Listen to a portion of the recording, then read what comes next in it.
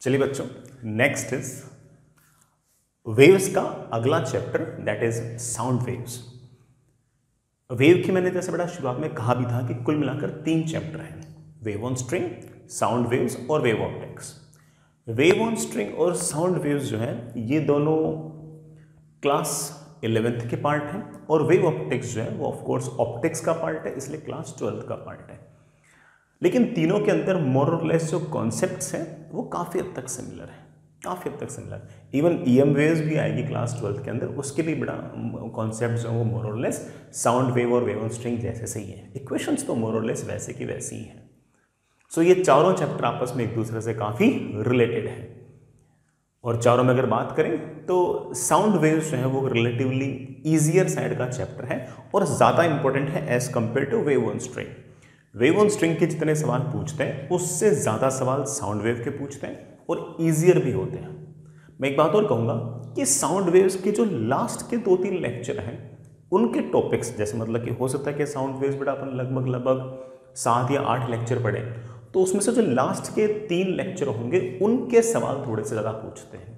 जैसे उसमें Doppler effect हो गया और ऑर्गन पाइप्स हो गई। तो उसके सवाल अगर आप देखोगे तो चाहे जेई मेन हो, चाहे आईआईटी एडवांस्ड हो दोनों में ही सिर्फ़ और सिर्फ़ इन दो टॉपिक के कौन से कौन से? ऑर्गन पाइप और डॉपलर इफ़ेक्ट इन दोनों के सवाल रिलेटिवली ज़्यादा पूछते हैं। हाँ इसका यह अर्थ बिल्कुल नहीं है कि शुरुआत वाले पोर्शन के सवाल नहीं पूछते, कम पूछते हैं। बट शुरुआत वाला पोर्शन हमारे लिए इसलिए भी काम का है क्योंकि वो जो पोर्शन हम पढ़ रहे हैं, शुरुआत में जो हम पोर्शन पढ़ रहे हैं, हो सकता है कि उसका बहुत सारा यूज़ जो है वो वेव ऑप्टिक्स के अंदर भी हो। जैसे खास तौर से इंटरफेरेंस वगैरह जो टॉपिक है उसके सवाल साउंड वेव्स में आते कम हैं लेकिन साउंड वेव्स में हम इंटरफेरेंस सीखते हैं और वही इंटरफेरेंस हम लोग वेव ऑप्टिक्स में यूज़ भी करते हैं। सो so, सारा का सारा चैप्टर अच्छा है लेकिन आप मान के चल सकते हो कि चाहे जेई मेन हो चाहे आईआईटी एडवांस्ड हो दोनों में ही लास्ट के जो दो तीन चैप्टर हैं सॉरी लास्ट दो तीन जो लेक्चर हैं उनका वेटेज रिलेटिवली ज़्यादा रहता है। ये बात गांठ बाँध लें कि साउंड वेव्स में जब भी रिवाइज करना हो तो लास्ट के दो तीन लेक्चर तो पक्के रिवाइज करने। बाकी तो ठीक है बेटा, शुरुआत वाले भी कॉन्सेप्चुअली इंपॉर्टेंट तो है ही। और आईआईटी वालों का क्या भरोसा? कब क्या पूछ ले? ठीक है? चलिए बच्चों, मैं यहाँ पर ना साउंड वेव स्टार्ट करने से पहले एक दो छोटी छोटी बातें और बोलना चाहूँगा। एक दो कॉन्सेप्ट हैं जो मैं अब हल्के से आपको बोलना चाहूँगा। इन कॉन्सेप्ट्स की ज़रूरत हमारी साउंड वेव में बार बार पड़ेगी। थ्योरी में भी पड़ेगी और आगे जाके सवालों के अंदर भी पड़ेगी तो दो छोटे मोटे कॉन्सेप्ट हैं। प्लीज़ उनको सुनिएगा, समझिएगा। देखिए बेटा। मैं साउंड वेव्स के स्टार्ट नहीं कर रहा हूँ। साउंड वेव्स पढ़ने के लिए कुछ प्री रिक्विजिट है, वो बता रहा हूँ। तो उसमें सबसे पहला पॉइंट जो है, वो ये है कि अगर आपके पास इस तरह से कोई फ्लूड है बड़ा फ्लूड मतलब गैस भी हो सकती है और लिक्विड भी हो सकता है। ये आपके पास कोई फ्लूड है। ऐसा कोई फ्लूड है। इस फ्लूड का जो वॉल्यूम है, बड़ा वो वी है, और चारों तरफ़ से जो प्रेशर लग रहा है, चारों तरफ़ से जो प्रेशर लग रहा है, बड़ा वो आपका पी है। चारों तरफ़ से इस फ्लूड पे जो प्रेशर लग रहा है, वो पी है और इस फ्लूड का जो वॉल्यूम है वो आपके पास वी है। ठीक है? आपने क्या किया कि चारों तरफ़ से लगने वाले प्रेशर को P से बढ़ाकर P प्लस डी कर दिया। मतलब आपने चारों तरफ़ से एक तरह से फोर्स बढ़ा दी।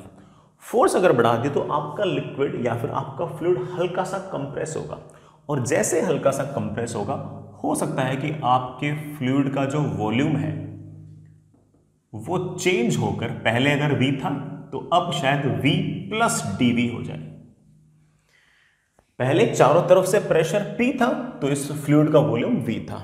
आपने प्रेशर बढ़ाकर P प्लस डी कर दिया तो वॉल्यूम V से घटकर V प्लस डी हो गया। सर, आप भी कमाल करते हो। कहते हो कि वॉल्यूम घट गए और यहाँ पर प्लस लगा दिया। हाँ बेटा, लगा दिया। डीवी मतलब चेंज इन वॉल्यूम ये पॉजिटिव हो सकता है नेगेटिव हो सकता है। हमारे वाले हिसाब से अगर देखें तो हमने प्रेशर बढ़ाया है तो फ्लूड का वॉल्यूम घटना चाहिए। तो हम अपने आप समझ गए कि इस डीवी की जो वैल्यू है, ये नेगेटिव है।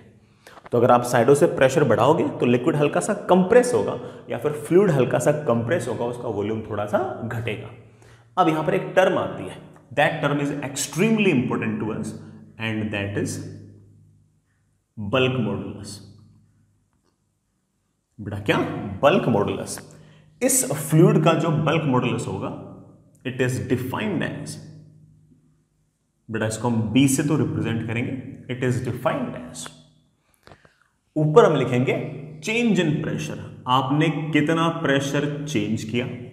इससे हम एक नाम भी दे सकते हैं, आगे जाकर देंगे भी स्ट्रेस बड़ा ऊपर क्या यूज़ करेंगे? स्ट्रेस और नीचे हम करेंगे स्ट्रेन ऊपर तो हमेशा क्या आएगा? स्ट्रेस स्ट्रेस आपके पास हो गया है कि आपने प्रेशर को कितना चेंज किया है। नीचे आएगा स्ट्रेन। सर, ये स्ट्रेन क्या है? बेटा स्ट्रेन है।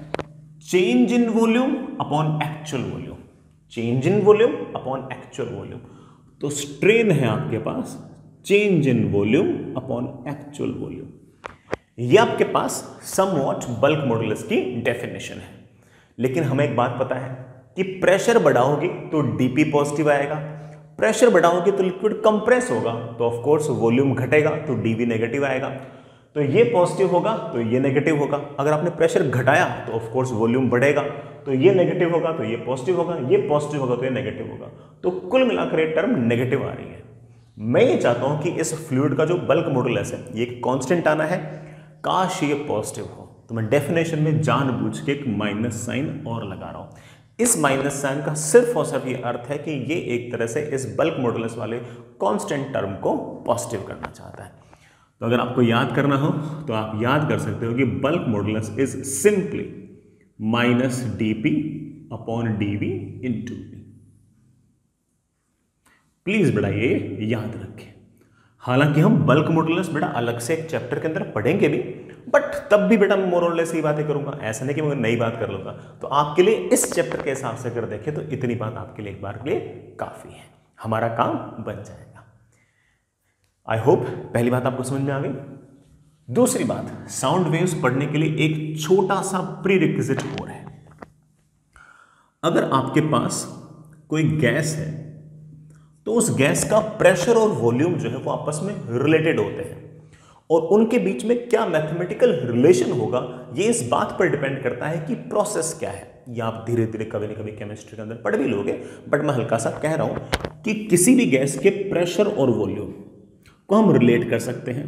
अलग अलग प्रोसेस के लिए प्रेशर और जो वॉल्यूम होते हैं, उनके बीच में अलग अलग रिलेशन आते हैं।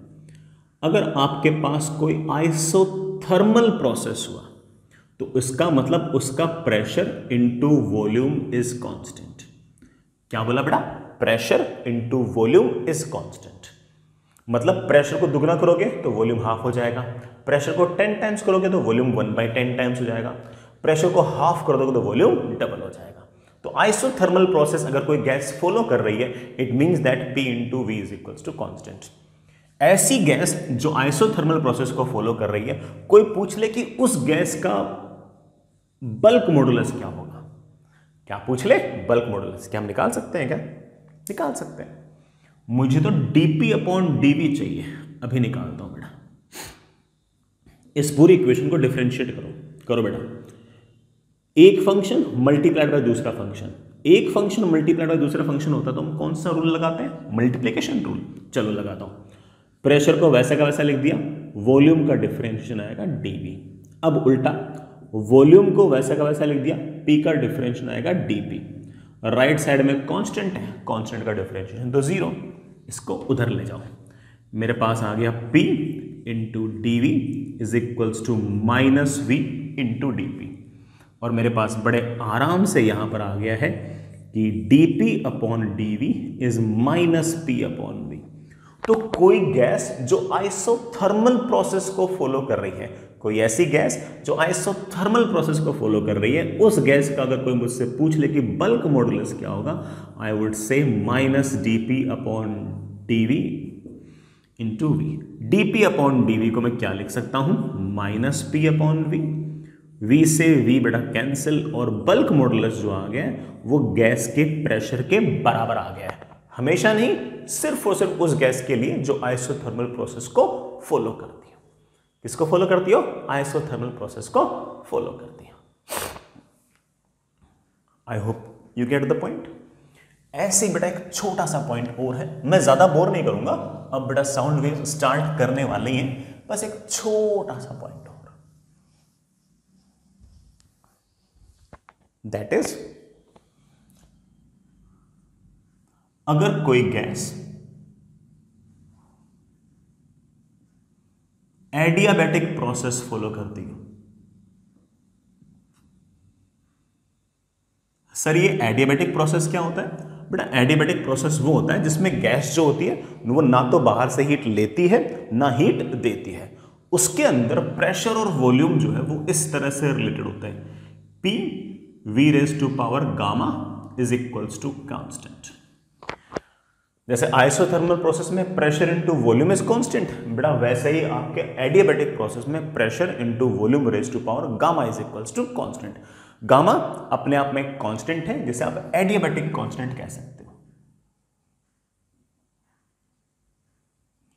जिसे बेटा आप एडियाबेटिक कांस्टेंट कह सकते हो। ये अक्सर आपको सवाल में दिया होगा, या फिर कैसे निकाल सकते हो, इस बात को भी हम हल्का फुल्का कभी ना कभी डिस्कस भी करेंगे। बट एक बार के लिए तो आपसे कांस्टेंट मान के चलो। कोई मुझे पूछ ले कि सर ऐसी गैस जो एडियाबेटिक प्रोसेस को फॉलो करती हो, क्या हम उसका बल्क मॉडुलस निकाल सकते हैं क्या? जी हाँ बिल्कुल निकाल सकते हैं। बेटा, वही मुझे डीपी अपॉन डीवी चाहिए, क्योंकि बल्क मॉडुलस के फॉर्मूले में डीपी अपॉन डीवी आया था तो मुझे वो चाहिए। निकालते हैं। इस एक्सप्रेशन को डिफ्रेंशिएट करो। प्रेशर वैसा का वैसा। V raise to power gamma का डिफरेंस होगा गामा टाइम्स वी की power gamma minus one into d V plus अब v raise to power gamma वैसा का वैसा और p का डिफरेंशिएशन dp राइट साइड में कांस्टेंट है कांस्टेंट का डिफरेंशिएशन तो ऑफ़ कोर्स ज़ीरो लिखेंगे और क्या लिखेंगे?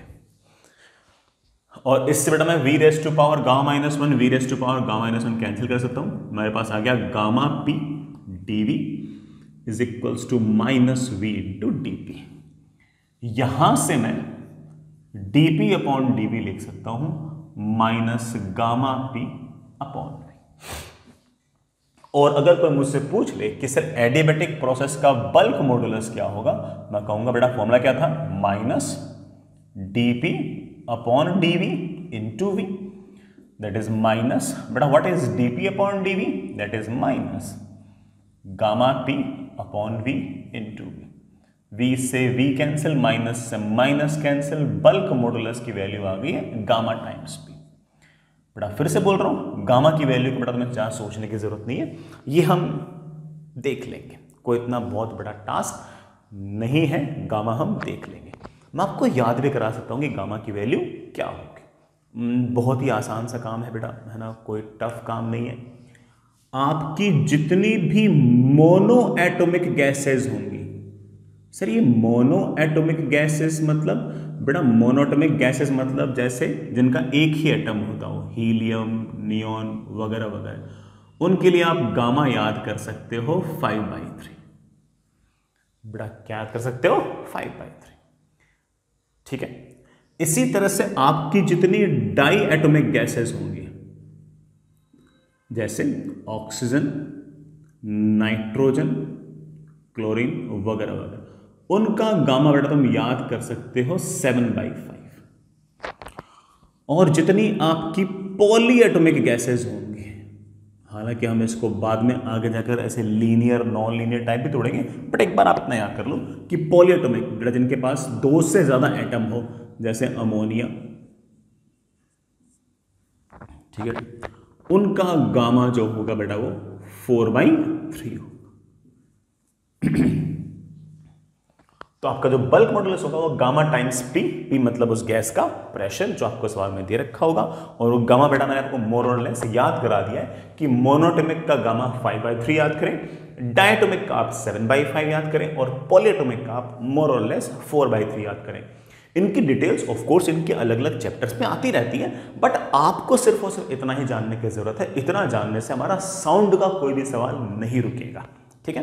तो मैंने पहले ही सारे के सारे को जो भी एक्स्ट्रा इन्फॉर्मेशन आपको चाहिए थी, मैंने आपको दे दी अब इनके अलावा आपको किसी और एक्स्ट्रा इन्फॉर्मेशन की ज़रूरत नहीं पड़ेगी साउंड चैप्टर के अंदर। बाकी तो ठीक है बेटा, आगे जाके और भी अपन को तो पढ़ना ही है। हो सकता है कि आपने केमिस्ट्री के अंदर भी इस तरह की बातें पहले से पढ़ भी रखी हो, तब तो बेटा लिखने की भी ज़रूरत नहीं है। अगर आपको पहले से याद है तो ठीक है। अदरवाइज़ कोई बात नहीं बेटा, मैंने लिखा तो दिया आगे चलिए बेटा नाउ मुद्दे पे आते हैं our sound waves sound waves हमारे पास एक three dimensional longitudinal mechanical wave है। ऑफ़ कोर्स है ना? हमारे कम्युनिकेशन के अंदर सबसे ज़्यादा जो यूज़फुल है that is of course sound wave हमारे बोलने पर साउंड एक जगह से दूसरी जगह ट्रेवल करती है और हमारी बात को एक जगह से दूसरी जगह पहुँचाने के लिए साउंड वेव काम आती है। आप एक बात लिख सकते हो sound wave is a longitudinal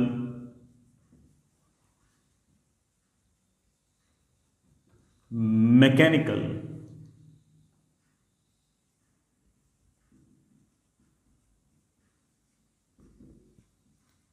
three dimensional wave हर बात को धीरे धीरे देखते हैं। सबसे पहले लॉन्गिट्यूडनल है। अच्छा पहले एक बात हो इसका सोर्स कौन है? साउंड का जो सोर्स है, वो मोस्टली एक वाइब्रेटिंग ऑब्जेक्ट होती है। कोई ना कोई ऐसी ऑब्जेक्ट जो वाइब्रेट करती है। इसका source will be some vibrating object that और वाइब्रेटिंग ऑब्जेक्ट मे बी एक ट्यूनिंग फोर्क जो वाइब्रेट कर रहा हूँ। बट आप जानते हो ट्यूनिंग फोर्क के जो प्रॉन्ग्स होते हैं, वो ऐसे ऐसे वाइब्रेट करते हैं और उसके कारण ऑफ़ कोर्स साउंड क्रिएट हो सकती है। हमारा जो वोकल कोड है, बट आप जब बोलते हो तो आपका जो वोकल कोड है, ये ऐसे ऐसे वाइब्रेट करता है। वाइब्रेशंस के एम्पलीट्यूड बहुत छोटे हैं, इसलिए दिखते तो नहीं है, लेकिन अगर आप ऐसे अपनी उंगली पुट करोगे और बोलोगे तो आपको इस बात की फील आएगी कि आपका जो वोकल कोड है, वो ऐसे ऐसे वाइब्रेट कर रहा है। तो मैं कह सकता हूँ कि अवर वोकल कोड ये भी वाइब्रेट कर रहा है।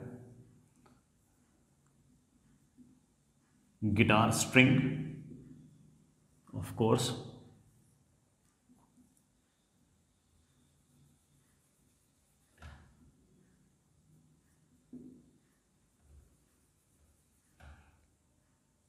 बड़ा जो भी आपके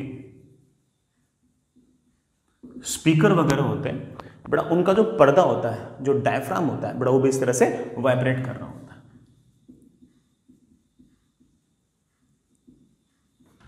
जो भी आपके स्पीकर्स होते हैं डीजे होते हैं मैडम उनका जो डायफ्राम होते हैं, वो इस तरह से वाइब्रेट कर रहे होते हैं। कुल मिलाकर आपके साउंड का जो सोर्स है, वो कोई ना कोई वाइब्रेटिंग सोर्स होगा। ऐसा सोर्स जो लगातार इस तरह से वाइब्रेट कर रहा होगा। ठीक है?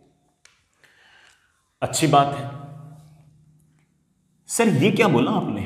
लॉन्गिट्यूडनल वेव हमारी जो साउंड है, वो एक लॉन्गिट्यूडनल वेव है। सर, ये लॉन्गिट्यूडनल वेव है, इस बात का क्या अर्थ है? बेटा, इस बात का अर्थ ये है कि अगर मैं ऐसा कहूँ कि मेरे पास ये ट्यूनिंग फोर्क है तो ये ट्यूनिंग फोर्क ऐसे ऐसे ऑसिलेट करेगा। ये ट्यूनिंग फोर जैसे ही यूँ यूँ ऑसिलेट करेगा, ये अपने जस्ट नज़दीक वाले एयर मोलिक्यूल को भी ऐसे ऐसे ऑसिलेट करवाएगा। ये वाला मॉलिक्यूल अगले वाले मॉलिक्यूल से टक्कर करेगा और ये अगला वाला मॉलिक्यूल भी ऐसे ऐसे ऑसिलेट करेगा। ये वाला मोलिक्यूल अगले वाले मोलिक्यूल को टक्कर करेगा और ये वाला मोलिक्यूल भी ऐसे ऐसे ऑसिलेट करेगा। ये वाला मोलिक्यूल अगले वाले मोलिक्यूल को टक्कर करेगा और अगले वाला मोलिक्यूल भी ऐसे ऐसे ऑसिलेट करेगा। याद कीजिए कि स्ट्रिंग वेव के अंदर हमने स्ट्रिंग के पार्टिकल्स को यूँ यूँ चलाया था तो सारे के सारे मीडियम पार्टिकल्स ऐसे ऐसे जा रहे थे। सारे के सारे डिस्टर्बेंस यूँ जा रही थी, लेकिन रस्सी के पार्टिकल्स इस इस तरह से ऑसिलेट कर रहे थे। इस कारण से रस्सी की वेव को हम लोगों ने ट्रांसवर्स वेव कहा था। लेकिन यहाँ पर आपके जो मीडियम पार्टिकल्स हैं, जिस तरफ़ आपकी डिस्टरबेंस जा रही है, जिस तरफ़ आपकी वेव जा रही है, आपके मीडियम पार्टिकल्स भी उसी लाइन के अलोंग ऑसिलेट कर रहे हैं। These kind of the waves are known as of course longitudinal waves ये डेफिनेशन हम लोगों ने वेव ऑन स्ट्रिंग में पहले से लिख रखी है। फेयर इनफ आगे चलते हैं। हमारे जो वेव है सॉरी हमारी जो साउंड वेव है, ये मैकेनिकल वेव है। When I say mechanical wave I mean that कि इसे मीडियम की ज़रूरत पड़ेगी। बिना मीडियम के साउंड ट्रेवल नहीं होगी। तो आप कह सकते हो कि इसे मीडियम की ज़रूरत पड़ेगी। अगर आप वैक्यूम में जाकर चिल्लाओगे बिना किसी को कोई आवाज़ नहीं पहुंचेगी। ठीक है? तो मीडियम की ज़रूरत पड़ेगी, चाहे वो एयर हो इवन चाहे सॉलिड हो, लेकिन बड़ा मैकेनिकल वेव जो है उसको तो मीडियम की ज़रूरत पड़ती है। तो आपके साउंड वेव भी मैकेनिकल वेव है, उसे मीडियम की ज़रूरत तो पड़ेगी। And of course three dimensional wave sir three dimensional मतलब क्या? है अगर मान लीजिए कि यहाँ पर कोई साउंड का सोर्स है तो बड़ा ऑफ़ कोर्स साउंड इधर भी जाएगी, इधर भी जाएगी, इधर भी जाएगी, इधर बाहर भी आएगी, अंदर भी जाएगी, हर तरफ़ जाएगी। आपकी जो साउंड है, वो ऑफ़ कोर्स एक थ्री डायमेंशनल वेव है। आपके पास जो साउंड है, बड़ा आपके पास एक three dimensional wave fair enough मैं एक बार के लिए सारी बातें मिटा रहा हूँ।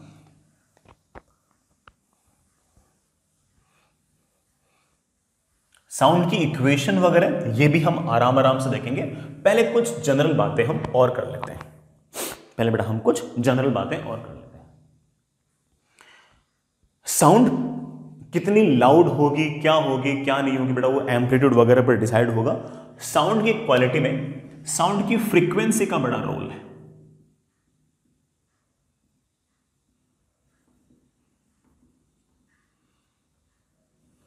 सर फ्रीक्वेंसी ऑफ़ साउंड का अर्थ क्या है? बेटा फ्रीक्वेंसी ऑफ़ साउंड का अर्थ यह है कि अगर मान लीजिए मेरे पास कोई साउंड का सोर्स है ट्यूनिंग फोर्क तो अगर ये ट्यूनिंग फोर्क जो है, ये मान लीजिए बेटा ऐसे ऐसे ऑसिलेट कर रहा है, और ये एक सेकंड में मान लीजिए कि हंड्रेड टाइम्स ऑसिलेट कर रहा है अगर ये ट्यूनिंग फोर्क का प्रॉन्ग अगर एक सेकंड के अंदर हंड्रेड टाइम्स ऑसिलेट कर रहा है तो ये मीडियम पार्टिकल्स को भी एक सेकंड के अंदर हंड्रेड टाइम ऑसिलेट कराएगा। और सारे के सारे जितने मीडियम पार्टिकल्स हैं मतलब एयर पार्टिकल्स हैं, उनको एग्जैक्टली exactly उसी फ्रीक्वेंसी से ऑसिलेट कराएगा, जिस फ्रीक्वेंसी से आपका ये ट्यूनिंग फोर्क ऑसिलेट कर रहा है। इसी तरह से मान लीजिए कि आपके पास कोई डीजे या स्पीकर का जो डायफ्राम है, जो पर्दा है, वो इस तरह से ऑसिलेट कर रहा है। इसकी फ्रीक्वेंसी अगर बेटा मान लीजिए थाउज़ेंड हर्ट्ज है तो इस बात का ये अर्थ है कि ये जो डायफ्राम है ये जो ये जो पर्दा है बेटा हमारे इस डीजे का या फिर आ, किसी स्पीकर का ये एक सेकंड के अंदर हज़ार बार ऐसे ऐसे ऑसिलेट कर रहा है। तो ये अपने आगे के जितने भी एयर पार्टिकल्स हैं उनको भी ऑसिलेट कराएगा और उनको भी मीडियम पार्टिकल्स को ऑसिलेट कराएगा। किस फ्रीक्वेंसी से? थाउज़ेंड हर्ट्स की फ्रीक्वेंसी से। हमारे पास नेचर के अंदर लगभग लगभग जितने भी सोर्सेस हैं, वो सिर्फ़ और सिर्फ़ एक फ्रिक्वेंसी दे, ऐसा ज़रूरी नहीं है। जैसे मेरी आवाज़ ही अगर आप सुन रहे हो तो बड़ा ऑब्वियस बात है कि मैं सिर्फ़ और सिर्फ़ एक अकेली फ्रिक्वेंसी नहीं दे पा रहा हूँ, मैं बंच ऑफ़ फ्रिक्वेंसीज दे पा रहा हूँ। लेकिन ट्यूनिंग फोर्क जो है ना, ये तो सिर्फ़ और सिर्फ़ एक ही फ्रिक्वेंसी देगा। मान लो ट्यूनिंग फोर्क पचास हर्ट्स लिखा हुआ है तो इसका मतलब ये पचास हर्ट्स के साउंड ही एमिट करेगा। लेकिन हम अपनी बात करें, किसी म्यूजिकल इंस्ट्रूमेंट की बात करें, किसी स्पीकर की बात करें तो उसमें से सिर्फ़ और सिर्फ़ एक फ्रिक्वेंसी नहीं निकलती। उसमें तो हज़ारों, करोड़ों, अरबों, खरबों फ्रिक्वेंसी आ सकती है, खूब फ्रिक्वेंसी आ सकती है, कोई दिक्कत ही नहीं है। बट मेरे कहने का सिर्फ़ अर्थ ये कि अगर मान लो किसी साउंड के सोर्स की फ्रीक्वेंसी अगर मान लीजिए 200 हर्ट्ज है तो इट मींस दैट कि वो खुद एक सेकेंड के अंदर 200 ऑसिलेशंस कर रहा है ऐसे लॉन्गिट्यूनल डायरेक्शन में, और जो मीडियम के पार्टिकल्स हैं, उनको भी ऐसे एक सेकेंड के अंदर 200 टाइम्स ऑसोलेट करा रहा है। This is the frequency of sound I hope you get the point एक बात और बेटा, हमें, मैं इंसानों की बात कर रहा हूँ, बेटा, हमें इंसानों को कोई भी साउंड सिर्फ़ और सिर्फ़ तभी सुनाई देगी, तभी ऑडिबल होगी, जब फ्रीक्वेंसी जो है, वो बेटा ट्वेंटी थाउज़ेंड हर्ट्स और ट्वेंटी हर्ट्स के बीच में हो। बीस हर्ट्स से लेकर बीस हज़ार हर्ट्स के बीच में अगर किसी साउंड की फ्रीक्वेंसी हुई, तभी हम इंसानों को वो वाले साउंड ऑडिबल होगी, सुनाई देगी। इस फ्रीक्वेंसी से कम की साउंड और बीस हज़ार हर्ट से ज़्यादा की साउंड जो है, ये हमें ऑडिबल नहीं होगी। ये वैल्यूज़ बहुत सब्जेक्टिव हैं। इनको है ना, ऐसे नहीं कि इंसान की डेफिनेशन बताने में तुमने यूज़ कर लिया कि ऐसा लिविंग ऑर्गेनिज्म जो 20 हर्ट से लेकर बीस हज़ार हर्ट्स तक की फ्रिक्वेंसी सुन सके, उसको हम ह्यूमन बींग कहेंगे। ऐसा नहीं है। ये कोई हार्ड एंड फास्ट नहीं है। है ना? कोई, है ना? ऐसा नहीं कि 20 हर्ट से लेकर बीस हज़ार हर्ट कोई हार्ड एंड फास्ट है। एक रफ रेंज है। ये एक रफ रेंज है कि हम ह्यूमन बींग्स जो हैं वो साउंड को तभी सुन पाते हैं जब साउंड की फ्रीक्वेंसी जो है वो 20 हर्ट्ज से लेकर 20,000 हर्ट्ज के बीच में 20 हर्ट्स और बीस हज़ार हर्ट्स के बीच की अगर फ्रीक्वेंसी हुई तभी आपके साउंड ऑडिबल होगी। अदरवाइज़ बड़ा हम लोगों को ऑडिबल नहीं होगी। ठीक है? अगर कोई फ्रीक्वेंसी ट्वेंटी थाउज़ेंड हर्ड से अगर ज़्यादा हुई। बीस हज़ार हर्ट्स बेटा के मतलब ऑफ़ कोर्स किलो बीस हज़ार हर्ट्स से अगर ज़्यादा हुई तो उस साउंड को, बेटा, हम अल्ट्रासोनिक साउंड कहेंगे। अल्ट्रासोनिक साउंड कहेंगे। ऑफ़ कोर्स इस अल्ट्रासोनिक साउंड को हम सुन नहीं सकते, ठीक? हालाँकि काफ़ी सारे एक्सपेरिमेंट्स वगैरह में काम आते हैं, लेकिन हम नहीं सुन सकते। इसी तरह से अगर फ्रीक्वेंसी 20 हर्ट्ज से अगर छोटी हुई तो इसे हम इंफ्रासोनिक साउंड कहेंगे। वो साउंड ज़रूर है हम नहीं सुन पा रहे कोई बात नहीं। बेटा हो सकता है कि बाकी एनिमल्स सुन पाते हो। है ना? हो सकता है कि बाकी एनिमल सुन पाते हो। तो 20 हर्ट से अगर छोटी फ्रीक्वेंसी है तो आप उसे इंफ्रासोनिक साउंड कह सकते हो और 20,000 हर्ट से अगर ज़्यादा फ्रीक्वेंसी है तो उसे हम अल्ट्रासोनिक कह सकते हो। डॉग्स जो है बड़ा डॉग्स जो है वो 50,000 हर्ट्स तक की फ्रीक्वेंसी सुन सकते हैं। 50,000 हर्ट्स फ्रीक्वेंसी तक की साउंड सुन सकते हैं। इसका मतलब बीस हज़ार हर्ट से लेकर पचास हज़ार हर्ट्स तक की जो फ्रीक्वेंसी की साउंड है वो हम लोग तो नहीं सुन पाएँगे लेकिन डॉग सुन सकते हैं। इसका मतलब ये नहीं कि डॉग ने ये वाली आवाज़ें सुन के कोई बहुत बड़ा कमाल कर लिया कि माय गॉड, देखो मैं कितना फोड़ूँ ऐसा नहीं है, ठीक है? ऐसी कोई साउंड्स बहुत ज़्यादा होती भी नहीं होंगी नेचर के अंदर वी डोंट नो ऐसे कोई बहुत ज़्यादा साउंड्स होती भी नहीं होंगी। और अगर ऐसे साउंड्स होती भी हैं तो हमारे पास ऐसे इक्विपमेंट्स हैं जो उन साउंड को परसीव कर सकते हैं, ठीक है? वो उसे कन्वर्ट करके ऑडिबल वाले में कन्वर्ट कर सकते हैं। लेकिन ऐसे कोई बहुत ज़्यादा नेचर में ऐसे साउंड्स हैं नहीं जिनको डॉग सुन पाते हो और हमें हम ना सुन पाते हो। तो बीस हज़ार हर्ट से लेकर पचास हज़ार हर्ट तक अगर कोई साउंड है तो हम नहीं सुन पाएँगे डॉग सुन पाएँगे। बैट्स जो होते हैं, चमकादड़ जो होते हैं, बड़ा वो तो टिल वन लैख हर्ट्स मतलब थाउज़ेंड किलो हर्ट्स तक की फ्रीक्वेंसी भी सुन लेते हैं। अगेन मैंने कहा ना बेटा, कि बीस हज़ार हर्ट्स से ज़्यादा और एक लाख के बीच वाले जो फ्रिक्वेंसीज बैट सुन पा रहा है, हम नहीं सुन पा रहे तो ऐसा कोई बहुत बड़ा लॉस नहीं है, बहुत ज़्यादा साउंड ऐसी है भी नहीं, ठीक है? कि जो इस रेंज में लाई करती हो तो हमारा कोई बहुत बड़ा नुकसान नहीं कि माई गॉड है ना, भगवान ने मुझे इंसान क्यों बनाया, बैठ के नहीं बनाया। ऐसे सोचने की ज़रूरत नहीं है, ठीक है? इतना कोई इन्फ्योरिटी कॉम्प्लेक्स मत डालो ठीक है? सो ठीक है, ऐसे तो राइनोसोरस जो होते हैं राइनोसोरस जो होते हैं, वो तो कम से कम पाँच हर्ट्ज तक की फ्रिक्वेंसी भी सुन सकते हैं। मतलब हम तो बीस हर्ट्ज तक की फ्रीक्वेंसी सुन सकते हैं। बीस से लेकर पाँच हर्ट्ज तक की फ्रीक्वेंसी जो वो हम तो नहीं सुन पाएँगे, लेकिन राइनोसोरस सुन सकता है। होती भी कोई हल्की फुल्की साउंड आई डोंट नो है ना? हमें तो भी खास फ़र्क पड़ा नहीं कि अच्छा हम ये वाले साउंड नहीं सुन पाए। लेकिन राइनोसोरस पाँच हर्ट्ज तक की फ्रीक्वेंसी सुन सकता है। हाँ मैं इस बात को फिर से रिपीट करता हूँ कि हम लोग जो फ्रीक्वेंसी है, वो बीस हज़ार हर्ट्स से बीस हर्ट्स के बीच की सुन पा रहे हैं। ये वैल्यूज़ सब्जेक्टिव हैं। ये हर इंसान टू इंसान अलग भी हो सकती है। पता लगा कि तुम्हारा छोटा भाई जो है, वो 19 हर्ट्स की फ्रीक्वेंसी सुन पा रहा है। तुम्हारा छोटा भाई जो है, वो 19 हर्ट्स की फ्रीक्वेंसी सुन पा रहा है और तुम कह दो कि हमारे सेंटर बता रखा है कि 20 हर्ट्स तक की फ्रीक्वेंसी सुनने वाले लोग ही इंसान है और तू तो 19 हर्ट्स की फ्रीक्वेंसी सुन पा रहा है। तो पक्की बात है कि इंसान नहीं है तो पक्की बात है कि राइनोसोरस है। ऐसे नहीं बोलना है, ठीक है? ये मैंने कहा ना बेटा सब्जेक्टिव वैल्यूज़ है, ये इंसान टू इंसान वेरी कर सकती है। थोड़ा बहुत प्लस माइनस चलता है। ठीक है? तो ऐसा नहीं तुम इस इन्फॉर्मेशन के बेसिस पर इंसान को डिफाइन कर दो कि हाँ भाई, इस रेंज से, इस रेंज से अगर सुन पा रहे तो इंसान हो अदरवाइज़ तुम इंसान नहीं हो। या तुम राइनोसरस हो, या तुम डॉग हो, या बैट हो, देख लो अपने हिसाब से, ठीक? ऐसा तो वैल्यूज़ थोड़ी सब्जेक्टिव है, इनको लेके घर में झगड़े नहीं करने हैं, ठीक है? आगे चलते हैं। नेक्स्ट हमने फ्रीक्वेंसी की बात को डिस्कस किया। लेकिन जैसा मैंने कहा कि हमारे जितने भी सोर्सेज हैं हम अपने आप को भी अगर एक सोर्स कहें तो हम जितने भी सोर्सेज हैं, वो सिर्फ़ और सिर्फ़ एक इकलौती फ्रीक्वेंसी एमिट करें, ऐसा नहीं है। We emit bunch of frequencies we emit bunch of frequencies और ओवरऑल हमारी आवाज़ किस तरह से परसीव की गई है दैट इज़ मोर सब्जेक्टिव उसमें बहुत सारे और पैरामीटर्स हैं। इन सारे पैरामीटर्स को मिलाकर हम एक नई टर्म डिफाइन करते हैं पिच बड़ा क्या टर्म डिफाइन करते हैं? पिच आप एक छोटी सी टर्म लिख सकते हो, थोड़ी सी बेटा ठीक है। थ्योरेटिकल टाइप की है, लिखना चाहो बेटा लिख सकते हो पिच को आप इस तरह से लिख सकते हो। Our brain interprets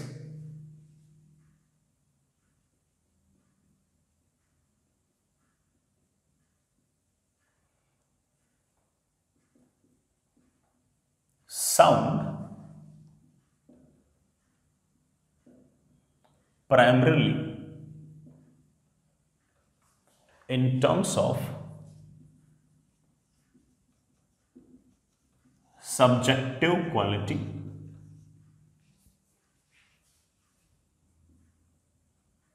known as pitch हमारा जो बड़ा ब्रेन है वो किसी भी साउंड को सुनकर ऐसा नहीं कह सकता कि अच्छा ये वाले साउंड हंड्रेड हर्ट्स की थी, ये वाले साउंड हज़ार हर्ट्स की है, या फिर ये वाले साउंड जो है, ये फिफ्टीन थाउज़ेंड हर्ट्स की है। ऐसा हमारा दिमाग जो है परसीव नहीं कर सकता।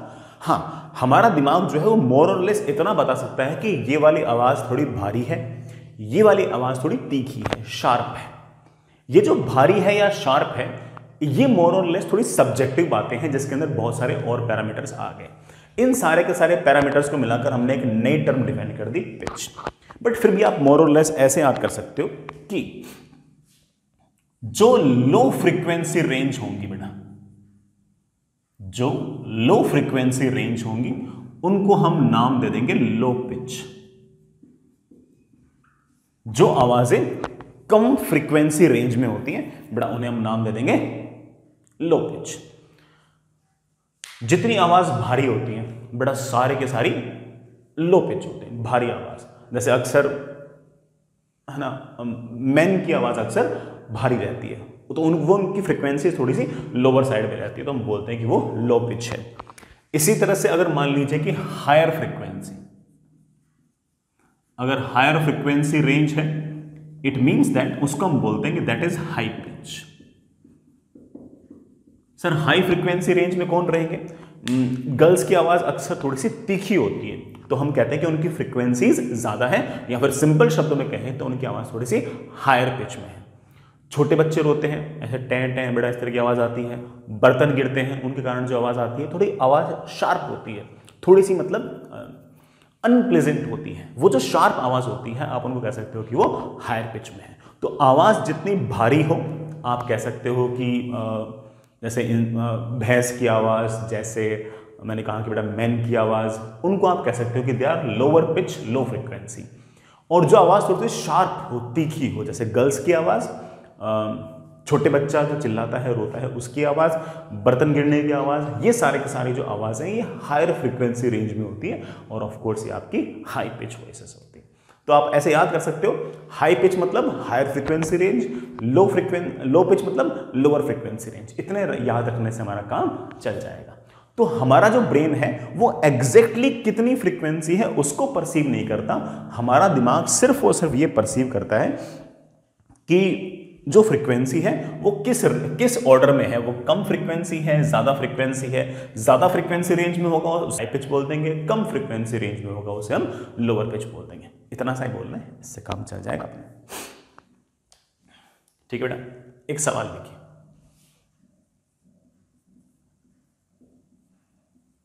A sound of wavelength 3 millimeter and speed of sound 400 meter पर सेकेंड एक साउंड है वेवलेंथ दे रखी है तीन मिलीमीटर और स्पीड ऑफ़ साउंड दे रखी है 400 मीटर पर second is this sound audible to us बड़ा ये वाले साउंड ऑडिबल है या नहीं है? तो आप कहोगे, सर ऑडिबल है या नहीं है, ये डिसाइड करेगी फ्रीक्वेंसी सर, काश मैं फ्रीक्वेंसी से निकाल पाऊँ। सर फ्रीक्वेंसी आपने फॉर्मूला तो सिखाया नहीं। बेटा, सिखा तो रखा है। किसी भी वेव की स्पीड और किसी भी वेव का लेमडा ये दोनों आपस में किस तरह से फ्रीक्वेंसी निकाल सकते हैं, ये मैं आपको पहले से सिखा चुका हूँ ट्रांसवर्स वेव में बता चुका हूँ। आपको बड़ा याद ही होगा कि frequency is of course speed of wave upon lambda I really hope आपको याद होगा। स्पीड ऑफ़ वेव 400 मीटर पर second lambda 3 millimeter that is 3 into ten raise to power minus three meter meter से मीटर कैंसिल, बड़ा मेरे पास आ गया, four by three, eight to ten raise to power five. One upon second, बड़ा one upon second is of course hertz. बड़ा four by three is one point three into ten raise to power five hertz kilo hertz में अगर convert करना चाहो तो आप लिख सकते हो इसे वन थर्टी किलो हर्ट्स बड़ा चेक करो, सही लिखा ना? वन थर्टी किलो हर्ट्स बड़ा वन थर्टी मैंने सही तो लिखा? One thirty kilo. बड़ा एक लाख तीस हज़ार हर्ट्स सुन पाओगे क्या?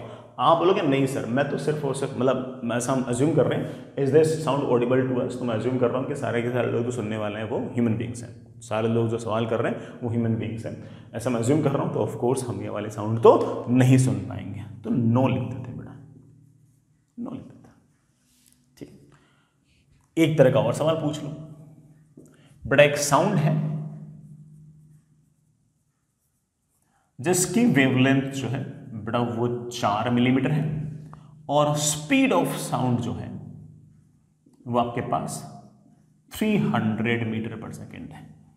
आपको बतानी है कि हमारे लिए ये वाले साउंड ऑडिबल है या नहीं है? बस।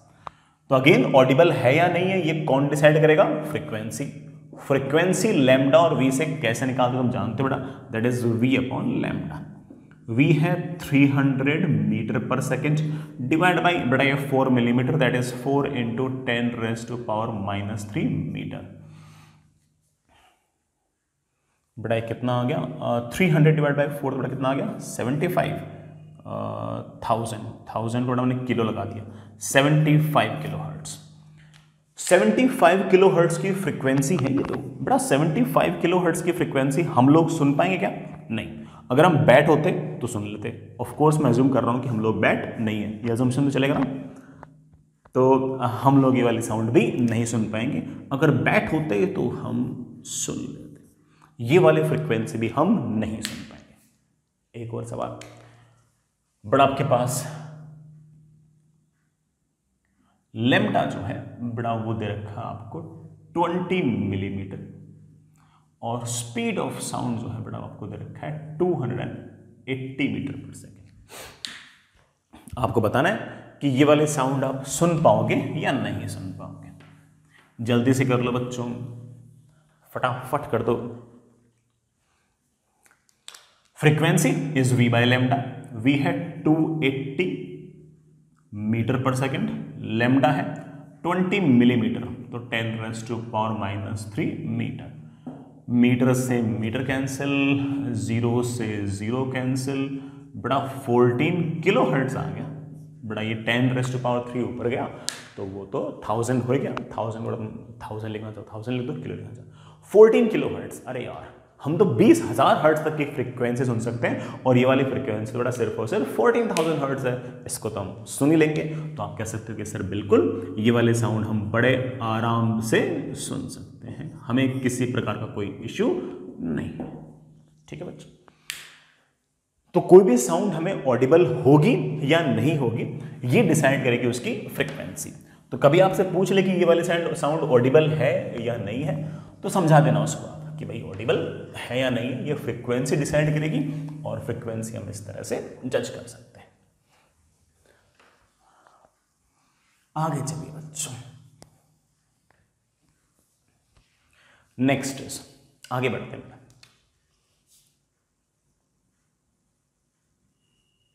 Sound wave in terms of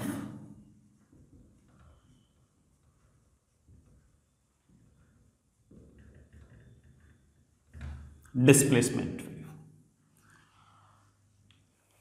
आसान सा काम है, बिल्कुल टफ नहीं है, आराम से काम बन जाएगा। सुनना बेटा।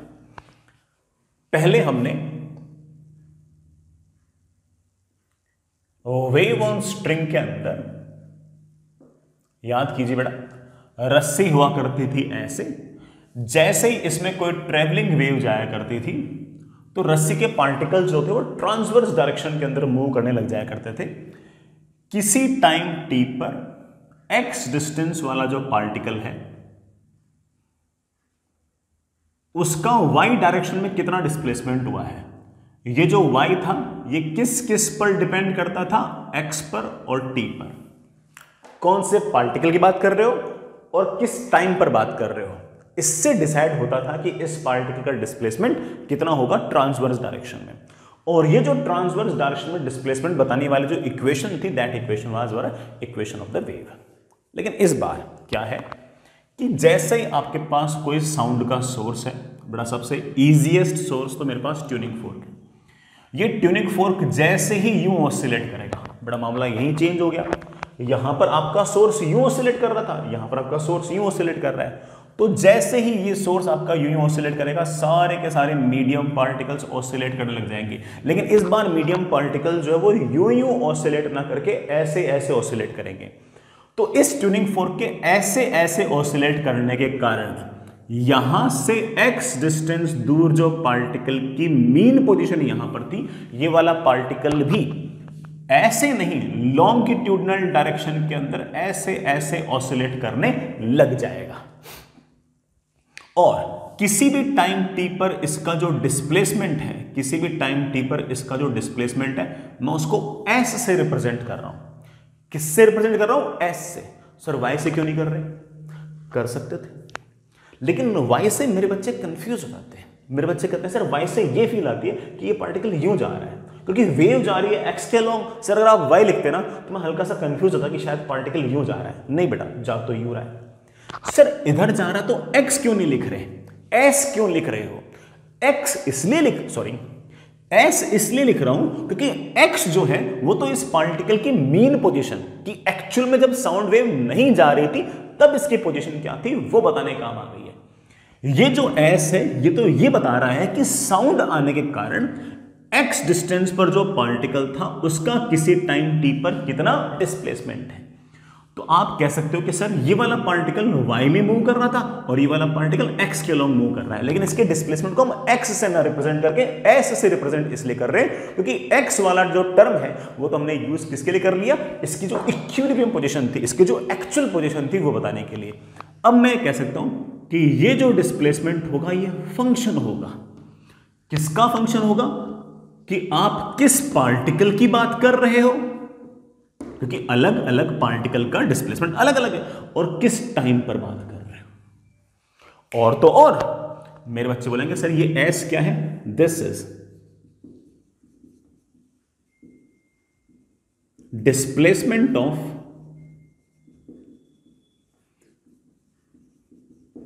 medium particle of course from equilibrium position X क्या है? ये जो इसकी इक्विलिब्रियम पोजीशन थी बेटा, वो थी।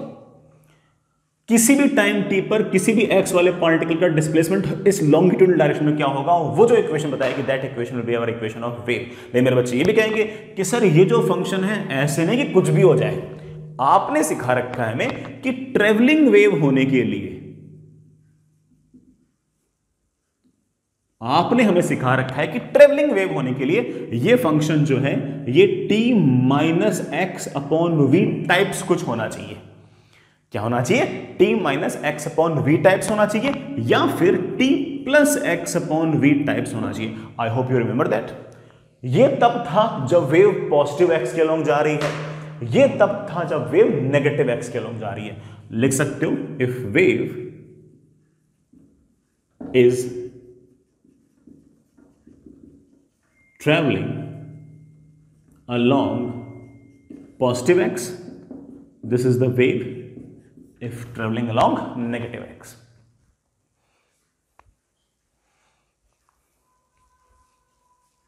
ऐसे कभी ना कभी स्टैंडिंग वेव भी बनेंगी। बना देंगे बेटा। अपन लोग तैयार बैठे हर तरह की वेव बनाने में, हर तरह के काम करने में। अपन लोग तो रेडी बैठे हैं। कर देंगे आगे जाके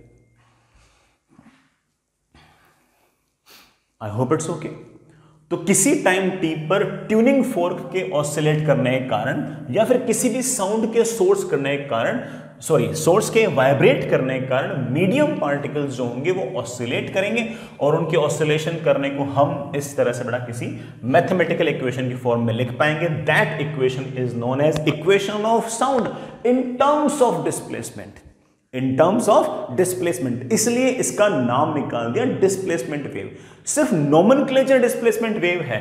वेव तो ये साउंड ही है. लेकिन उसी साउंड वेव को हम किस तरह से इंटरप्रेट कर रहे हैं? मीडियम पार्टिकल्स का एक्स एक्सिस के लॉन्ग जो डिस्प्लेसमेंट है, उसकी टर्म्स हम जानना चाह रहे हैं. इसलिए हमने इसका क्या नाम निकाल दिया? क्या नाम निकाल दिया बेटा? डिस्प्लेसमेंट वेव ये मत समझना कि डिस्प्लेसमेंट वेव कोई नई वेव आ गई है. अरे साउंड वेव ही है. साउंड वेव को हम सोच रहे हैं, समझ रहे हैं, देख रहे हैं. किसके टर्म्स में? मीडियम पार्टिकल्स के डिस्प्लेसमेंट सॉरी ऐसे नहीं, ऐसे. मीडियम पार्टिकल्स के यू यू डिस्प्लेसमेंट के टर्म्स में.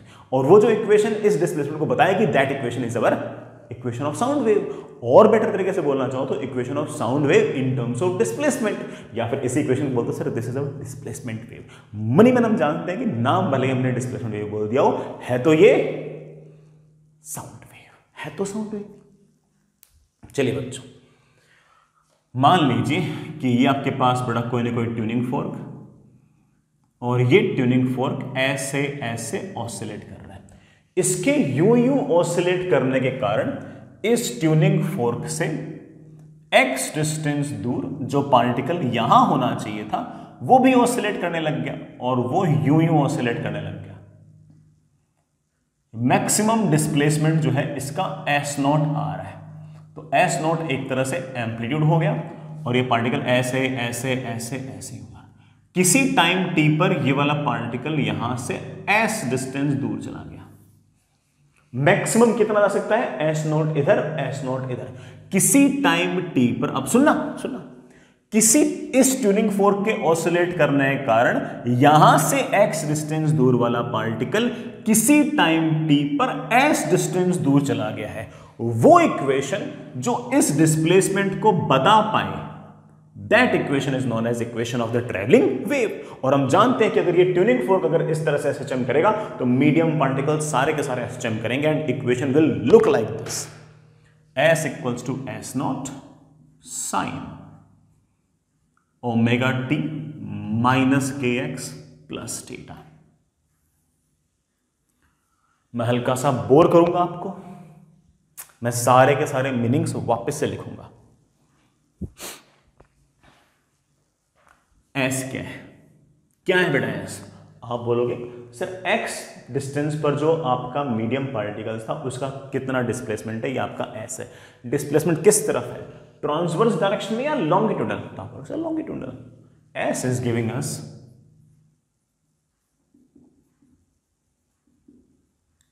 longitudinal displacement of medium particle तो ये एस नोट क्या है? क्या है एस नोट आप बोलोगे तो एम्पलीट्यूड है। किसका? डिस्प्लेसमेंट का एम्पलीट्यूड है। इसलिए एस नोट को हम बड़ा नाम दे सकते हैं। डिस्प्लेसमेंट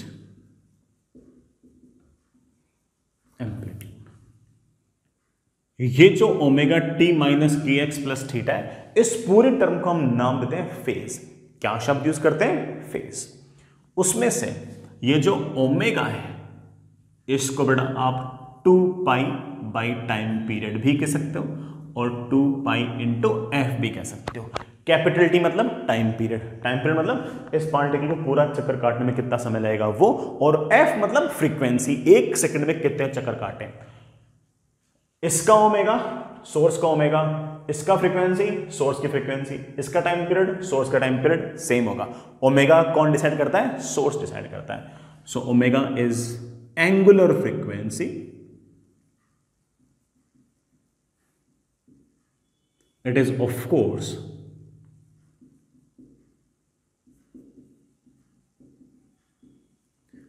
decided by source बेटा सोर्स डिसाइड करेगा और कौन करेगा? है कि नहीं? आगे चले बड़ा एक टी और एफ़ तुम समझ ही गए। यार अब अलग अलग से क्या बोलूँ? नेक्स्ट इज़ यार ये के, के क्या है? कभी बता रखा होगा यार? बड़ा इस के को हम लोगों ने नाम दिया था। आई रियली होप कि मेरे बच्चों को याद होगा। That was angular wave number इसको आप बेटा टू पाई बाई लेमडा भी लिख सकते हो। Lambda is of course wavelength.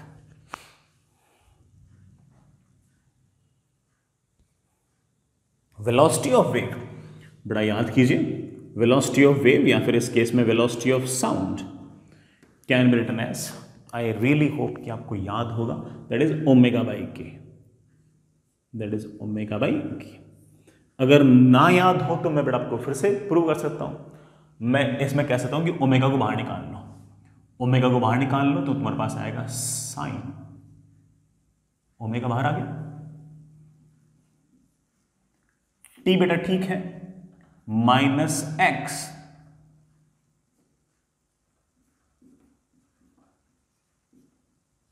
ऐसे लिख सकता हूँ। ठीक है? ऐसे लिख सकता हूँ ना? बेटा इसके को मैं नीचे लिया है टी अब कंपेयर करो कि किसी भी ट्रेवलिंग वेव की इक्वेशन में T minus X upon V आना चाहिए। क्या ये T minus X upon V आ रहा है? Yes it's me it means that it an it is an equation of travelling wave travelling along positive X axis compare किया तो this omega by K is your V that is velocity of wave ये velocity of sound ये बड़ा आपके पास velocity of sound क्या बढ़िया बात है। सारी बातें रिपीट थी, बिल्कुल जो ट्रेवलिंग वेव के अंदर पढ़ रखी थी, सारी की सारी बातें मोर और लेस हमने वही लिखी है। मैंने कोई अभी तक नई बात नई बात बिल्कुल नहीं लिखी है। है नहीं बेटा मेरे पास कोई नई बात, कहाँ से लिख दो? आएँगे, धीरे धीरे आएँगे, धीरे धीरे यहाँ तक समझ में आ गया? अब मैं एक बात तो बोलूँगा। मैं तो इस मीडियम पार्टिकल की वेलोसिटी और एक्सेलरेशन तक सोच सकता हूँ। अगर आप मुझसे पूछ लो कि व्हाट इज़ स्पीड या बेटा velocity speed of medium particle तो मैं कहूँगा बेटा, अगर आपको पार्टिकल की अगर स्पीड चाहिए तो इसका किसी भी टाइम पर डिस्प्लेसमेंट तो एस है। एक्स नहीं एस है। तो आप कहोगे, सर पार्टिकल की जो वेलोसिटी है, उसको आप बड़े आराम से कह सकते हो del S by del T sir del क्यों लिख रहे हो? D S by D T लिख दो ना। बेटा D S by D T नहीं del S by D T लिख। हमने ना इसमें पार्शियल डिफरेंशिएशन किया है एक्स को फिक्स माना है। याद करो, ऐसे पार्शियल डिफरेंशिएशन हम लोगों ने वेव ऑन स्ट्रिंग में भी किए थे। भाई डिस्प्लेसमेंट को टाइम के रेस्पेक्ट में डिफरेंशिएट करो वेलोसिटी तो आ जाएगी। बेटा, करना डिफरेंशिएशन एस नॉट ठीक है ओमेगा बाहर आ जाएगा। सर क्यों बाहर आ जाएगा? टी का कॉफिशियंट है बाहर आ जाएगा। साइन का differential cos omega t minus k x plus theta बेटा मैक्सिमम स्पीड बेटा किसी भी पार्टिकल की कितनी हो सकती है? आप बोलो सर मीडियम पार्टिकल की मैक्सिमम स्पीड सर मुझे नज़र आ गई है। एस नॉट इंटू ओमेगा हो सकती है। एस नॉट क्या है? ओमेगा क्या है? एस नॉट है मीडियम पार्टिकल का लॉन्गिट्यूडनल डिस्प्लेसमेंट का एम्पलीट्यूड और ओमेगा ऑफ़ कोर्स हमारी एंगुलर फ्रीक्वेंसी ठीक है? ये पसंद नहीं है? मैं इसको ऐसे भी लिख सकता हूँ। S naught omega cos of something can be written as under root of one minus sine square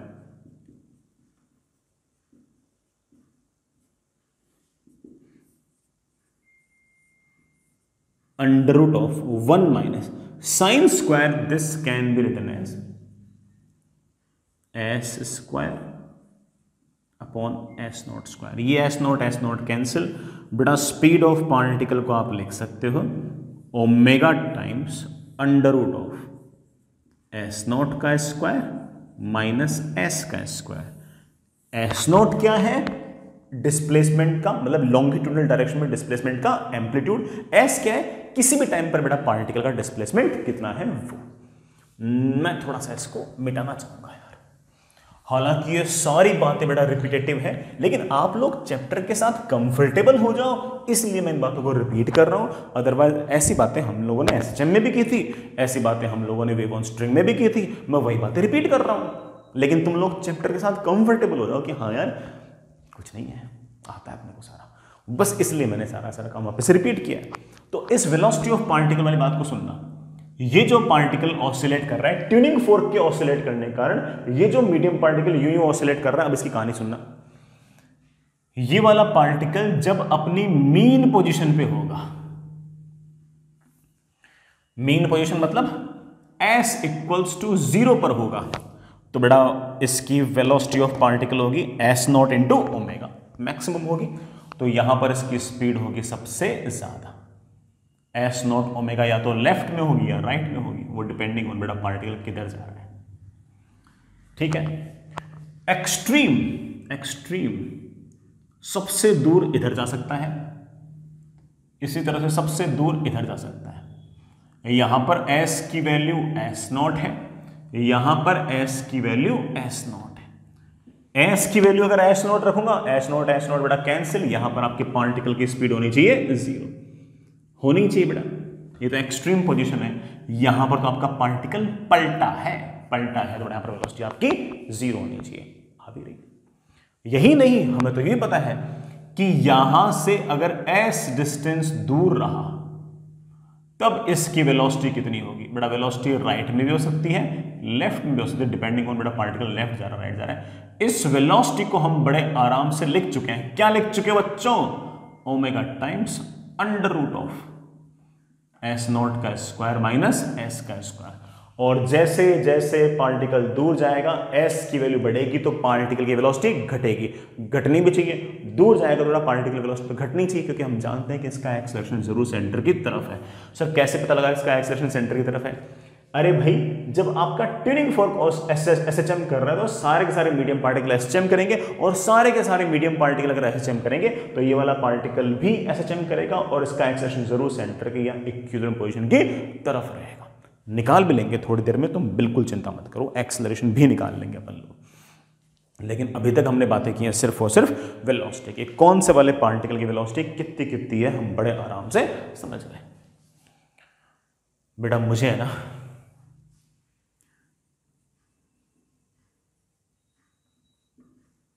acceleration of particle चाहिए बेटा। मुझे ये जो particle you you S H M कर रहा है, ये जो पार्टिकल यू एसएचएम कर रहा है, मुझे इसका एक्सेलरेशन चाहिए। Acceleration of particle is of course बेटा, आपने पार्टिकल की जो वेलोसिटी निकाली है, उसको डिफ्रेंशिएट कर दो। सॉरी बेटा। डी नहीं डेल हालाँकि डी भी लिख देते तब भी डिफ्रेंशिएट तो टी के रेस्पेक्ट में करते हैं, लेकिन लिखने में डेल अच्छा लगता है। बेटा पार्टिकल की जो वेलोसिटी है, इसको डिफ्रेंशिएट करना। अभी करता हूँ टाइम के रेस्पेक्ट में। एस नॉट और ओमेगा तो बाहर आ गया। टी के रेस्पेक्ट में डिफरेंशिएट कर रहे हो टी का कोफिशियंट है ओमेगा तो एक ओमेगा भी बाहर आ गया। कॉस का डिफरेंशिएशन है minus sine omega t minus k x plus theta this is the acceleration of particle acceleration of particle को मैं एक तरीके से और लिख सकता हूँ। माइनस ओमेगा स्क्वायर तो ठीक है। ये s naught sine omega t minus k x plus theta बेटा ये s naught sine omega t minus k x plus theta बेटा तुम्हारा एस था। मैंने बेटा मिटा ज़रूर दिया। किसी भी टाइम पर आपका जो डिस्प्लेसमेंट था minus omega square into s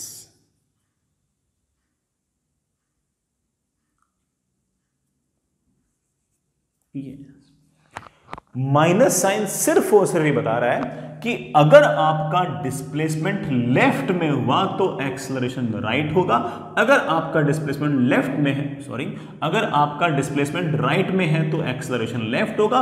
अगर आपका डिस्प्लेसमेंट लेफ़्ट में है तो एक्सलरेशन राइट होगा एंड दैट्स इट और जहाँ पर एस की वैल्यू मैक्सिमम होगी, ये वाला पॉइंट और ये वाला पॉइंट वहाँ पर आपका एक्सलरेशन सबसे ज़्यादा होगा। तो जो पार्टिकल ट्यूनिंग फोर्क के ऑसिलेट करने के कारण, जो मीडियम पार्टिकल्स ऑसिलेट कर रहे हैं, उनका मैक्सिमम एक्सलरेशन का जो मैग्नीट्यूड है, वो आप समझ गए हो बेटा कितना है? Omega square into s naught और ये कहाँ पर है? बेटा जहाँ पर एस की वैल्यू सबसे ज़्यादा है, बेटा एस की वैल्यू कहाँ पर सबसे ज़्यादा है? एक्सट्रीम पोजीशन पर एस की वैल्यू सबसे ज़्यादा है।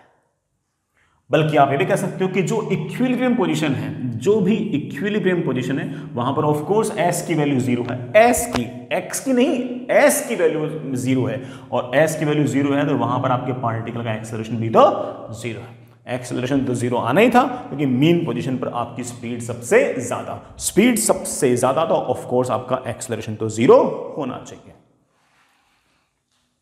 ठीक है बच्चों? इस बात को मैं हल्का सा डायग्राम में दिखा देता हूँ। हालाँकि इस डायग्राम में दिखा सकता हूँ। चलो, अलग से देता हूँ। ये आपका एस इक्वल्स टू ज़ीरो ये लेफ़्ट एक्सट्रीम ये एस नॉट इधर, ये एस नॉट इधर।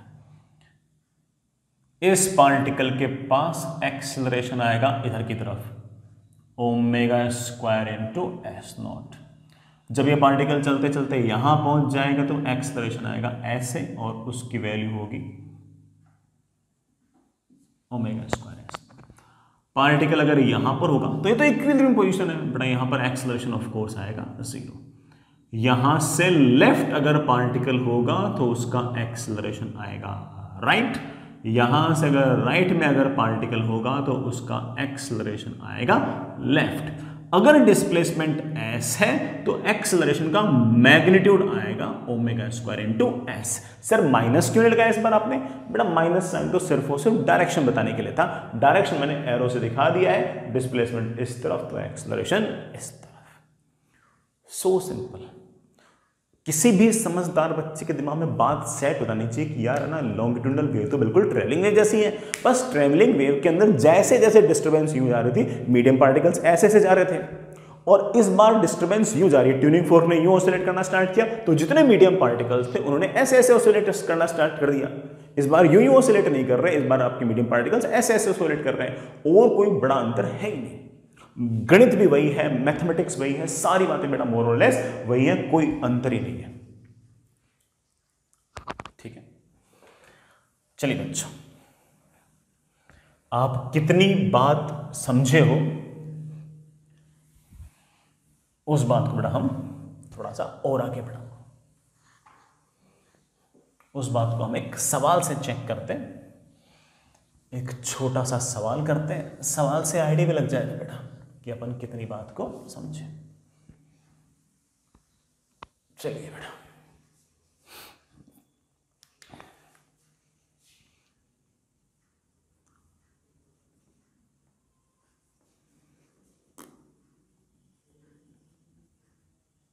बड़ा इक्वेशन ऑफ़ साउंड वेव हम लोगों को गिवन है। Equation is like this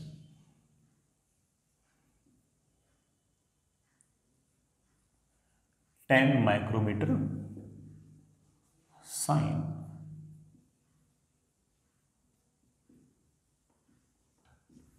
Thousand t minus three x. अंदर बेटा यूनिट नहीं लिखी हुई है it means that S I unit ठीक है? Find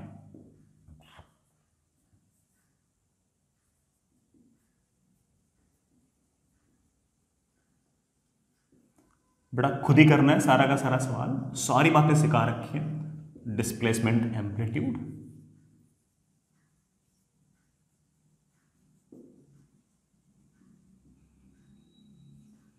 angular frequency third frequency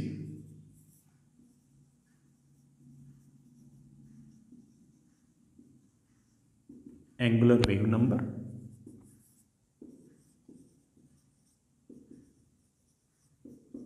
Wavelength of wave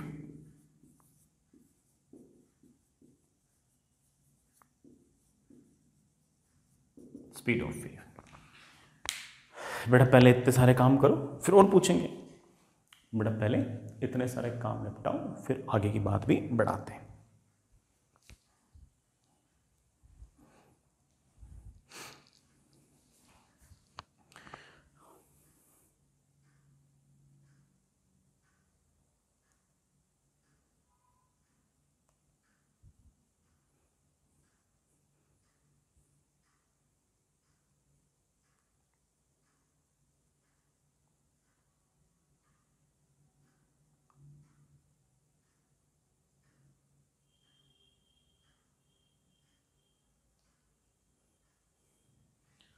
चलिए बेटा what is the displacement amplitude?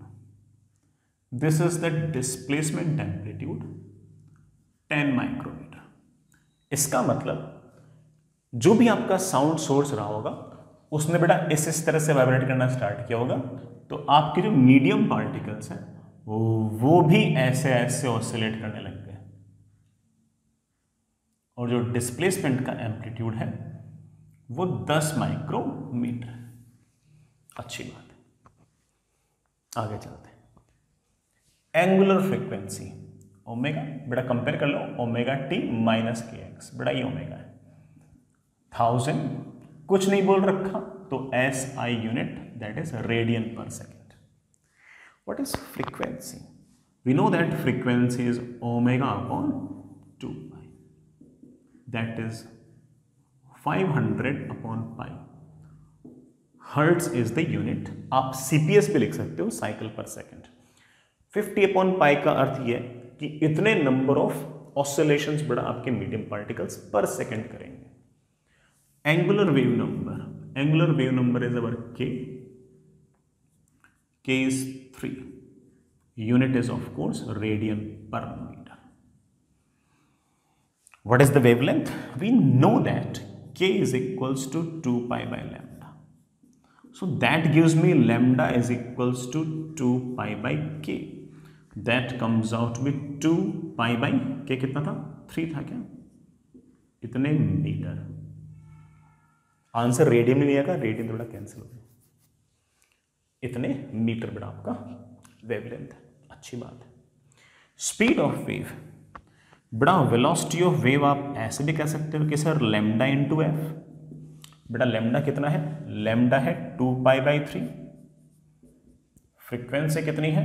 Hundred upon pi. पाई से pi cancel I think it is thousand by three अगर ये S I unit है तो obviously metre पर सेकेंड कोई बच्चा कहते हैं कि सर ठीक है, लेमडा और एफ़ तो मैंने बाद में निकाला है। सर मैं क्या मैं इसको ओमेगा बाई के कर सकता हूँ? बिल्कुल कर सकते हो। बेटा ओमेगा था थाउज़ेंड रेडियन पर सेकेंड के था आपका three radian per metre radian से रेडियन कैंसिल हो गया. That is three three three point three metre per second same answer है आपका. ये आपकी स्पीड ऑफ़ साउंड तो साउंड अगर आगे जाएगी तो बड़ा इस तरह से आपके मीडियम पार्टिकल्स डिस्प्लेस करेंगे. ये सारे के सारे कहानी अभी तक सवाल और भी है, सुनिए, लिखिए. बेटा छठा था. Seventh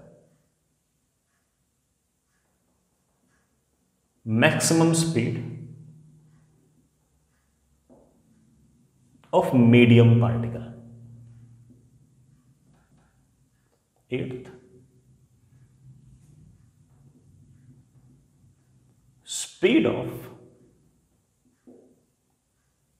medium particle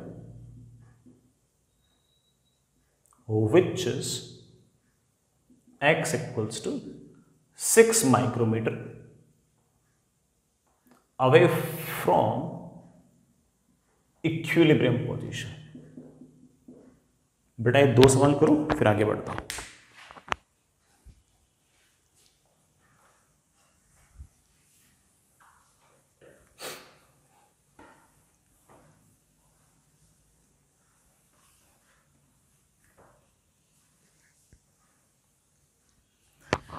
Maximum speed of medium particle maximum speed बड़ा पार्टिकल की इक्विलिब्रियम पोजीशन पर होती है। And that is, of course s naught omega मैं साइड में लिख दू?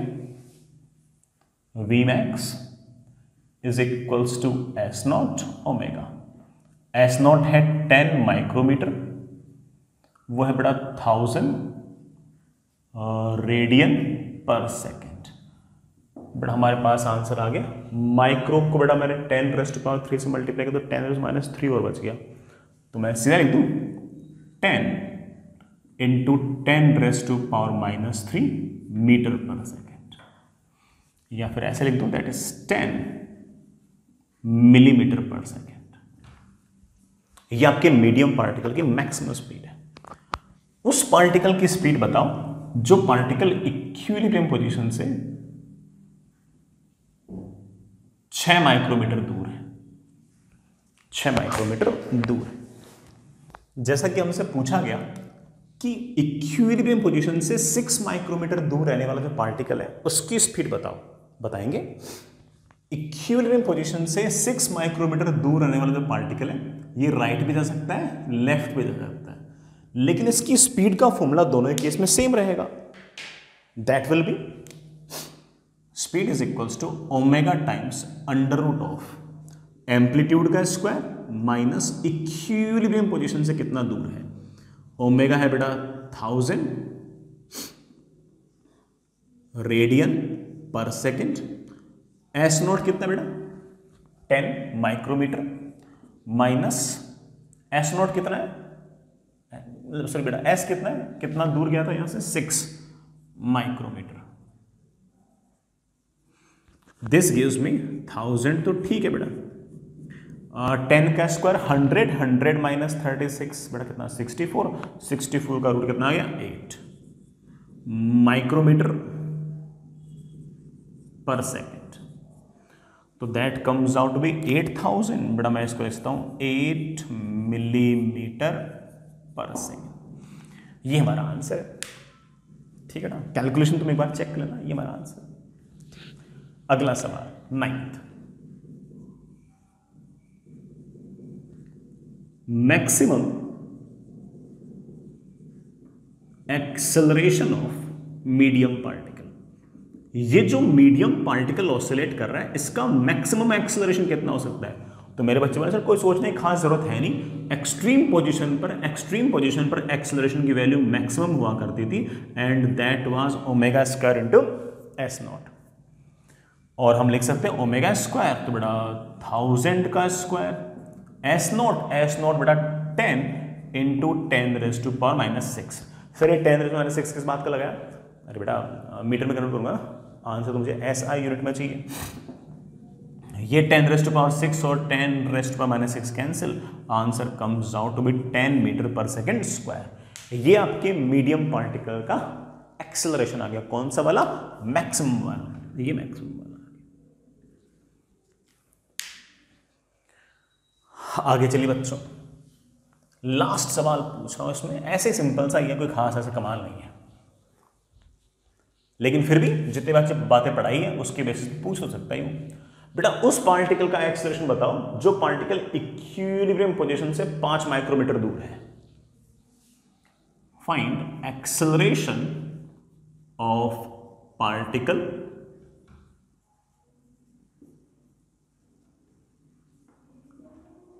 away from equilibrium position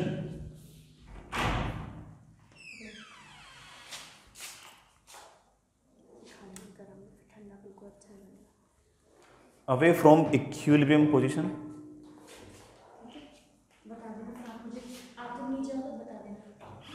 away from equilibrium position by five micrometer equilibrium position से पाँच माइक्रोमीटर दूर अगर कोई पार्टिकल है तो उसका एक्सलेशन बताओ। बेटा, उसका एक्सलेशन होगा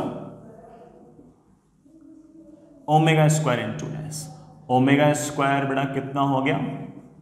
दिस एस कितना है? एस मतलब इक्विलिब्रियम पोजीशन सेपरेशन बेटा, वो कितना है? पाँच micrometer ten raised minus six ये दोनों कैंसिल बेटा answer comes out be five metre per second square ये हमारा आंसर है बेटा। तो इस बातों को सोचना कोई बहुत टफ टास्क तो था ही नहीं, आसान सा ही टास्क था, कोई बड़ा इसमें भारी बात थी नहीं। बट फिर भी आपको हल्का फुल्का आइडिया तो लगा, आपको इस बात का कन्विक्शन भी लगा कि sound waves is not that much different from our travelling wave सिर्फ़ ओनली डिफरेंस इज़ वहाँ पर सारे के सारे मीडियम पार्टिकल्स ट्रांसवर्स डायरेक्शन के अंदर ऑसिलेट कर रहे थे। यहाँ पर आपके सारे के सारे मीडियम पार्टिकल्स जो है वो लॉन्गिट्यूडनल डायरेक्शन के अंदर ऑसिलेट कर रहे थे। इतना ही फ़र्क था, बाकी कोई बड़ा बड़ा फ़र्क नहीं है। ये आपको आइडिया लग भी गया होगा, है ना? अब एक छोटी सी बात और, ऐसे सिंपल सी बात है। उसको मैथमेटिकल इंटरप्रिटेशन भी देखेंगे बट आपकी फील के लिए बात सुनो।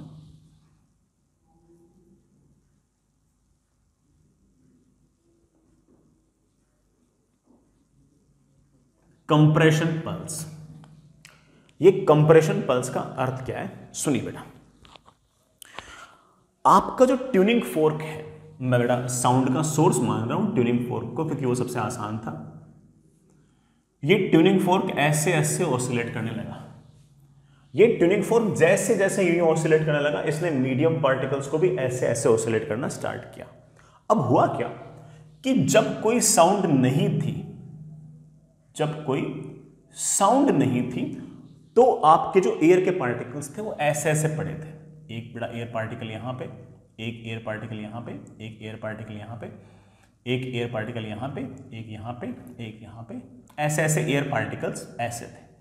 लेकिन जैसे ही ट्यूनिंग फोर्क ने यूँ ऑसोलेट करना स्टार्ट किया, ऐसा हो सकता है, ऐसा हो सकता है कि आपके जो पार्टिकल्स हैं, वो ऐसे ऐसे एक दूसरे के नज़दीक आ जाए। भाई वो तो ऑसिलेट तो कर ही रहे हैं। तो किसी टाइम पर ऐसा हो सकता है कि इधर वाला पार्टिकल यूँ आए और इधर वाला पार्टिकल यूँ आए।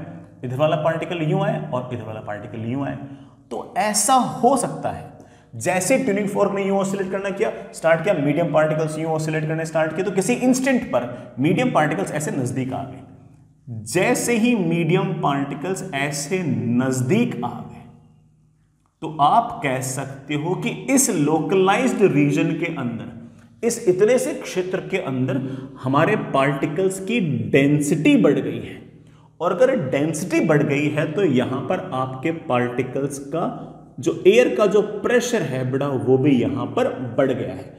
प्रेशर जो होगा, वो बड़ा यहाँ पर आपके डेंसिटी के डायरेक्टली प्रोपोर्शनल होता है। तो यहाँ पर बड़ा प्रेशर हल्का सा बढ़ गया है।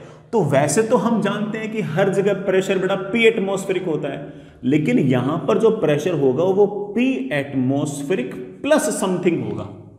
पी एटमोस्फेरिक प्लस समथिंग होगा and this something must be positive ये जो आपके पास अरेंजमेंट आया है लोकलाइज्ड रीजन आया है, जहाँ पर प्रेशर हल्का सा बढ़ गया है, इसको मैं बेटा एक नाम दे रहा हूँ। अरे प्यारे बच्चों, क्या नाम दे दिया मैंने इसको?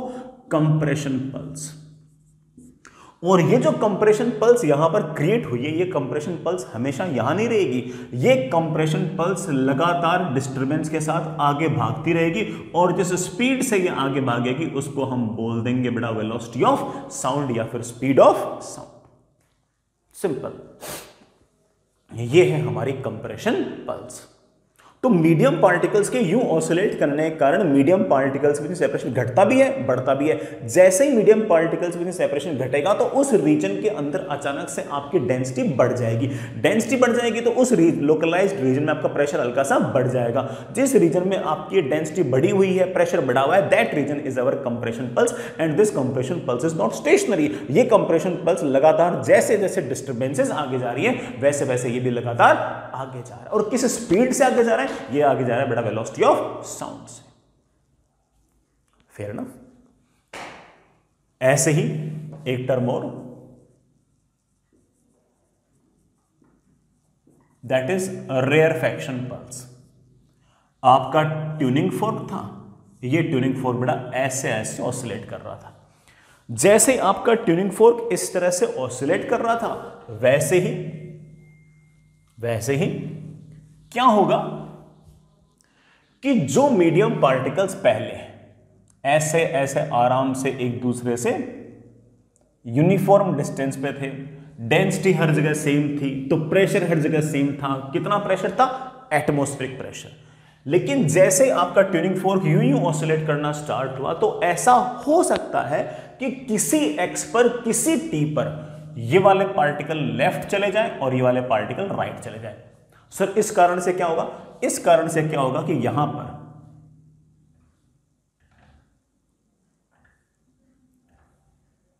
जो सिचुएशन पहले ऐसी थी, वो सिचुएशन ऐसे होगी। ये वाले पार्टिकल इधर पहुँच गए, ये वाले पार्टिकल क्योंकि पार्टिकल्स तो ऑसिलेट कर रहे हैं। अगर वो नज़दीक आ सकते हैं तो किसी टाइम पर दूर भी जा सकते हैं। तो जैसे ही ये दूर गए तो इस कंपैरिजन में अगर देखूँ तो आपकी डेंसिटी जो है, वो घट गई है।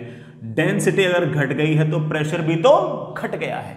इस पल्स को इस डिस्टरबेंस को बड़ा हम एक नाम दे रहे हैं। क्या नाम दे रहे हो बेटा? This is our rarefaction pulse sir rarefaction pulse का अर्थ क्या हुआ? बेटा रेयर फ्रैक्शन पल्स का अर्थ हुआ कि यहाँ पर जो प्रेशर है, वो हमारे एटमोस्फेयर प्रेशर से हल्का सा कम है। सर कम क्यों है? बेटा, अगर पार्टिकल्स के बीच में अगर ये डिस्टेंस होती तो प्रेशर पी एटमोस्फेरिक होता। अब आपके पार्टिकल्स की वजह डिस्टेंस हल्की सी बढ़ गई है तो डेंसिटी हल्की सी घट गई है। और अगर डेंसिटी घटेगी तो प्रेशर भी तो घटेगा।